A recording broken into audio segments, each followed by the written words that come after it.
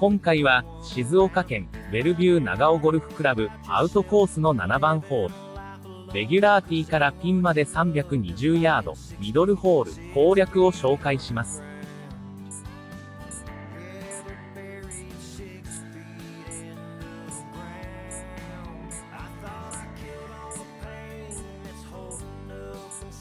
ティーショット、1打目は、左サイドが安全。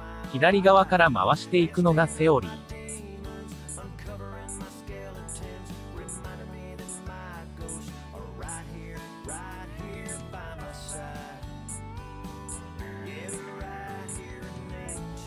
セカンドショット、グリーンは、右に外すとトラブル。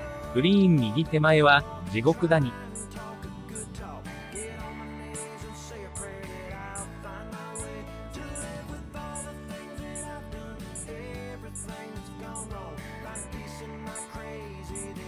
グリーン、常に2パットを頭に置きながら、プレーをしていきましょう。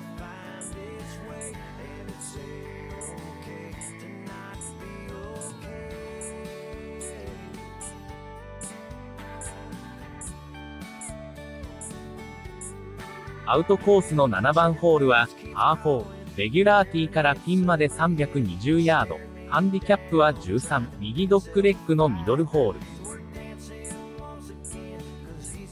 難易度は18ホール中8位。平均スコアは5.34。平均パット数は2.04。100切りの人は342パットが無難です。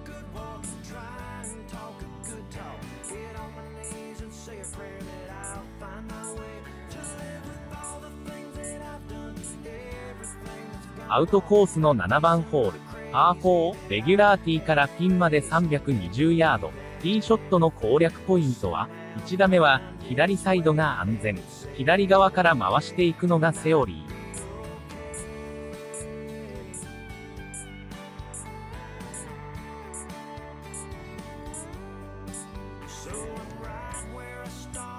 アウトコースの7番ホール。パー4、セカンドショットの攻略ポイントは、グリーンは、右に外すとトラブル。グリーン右手前は、地獄谷。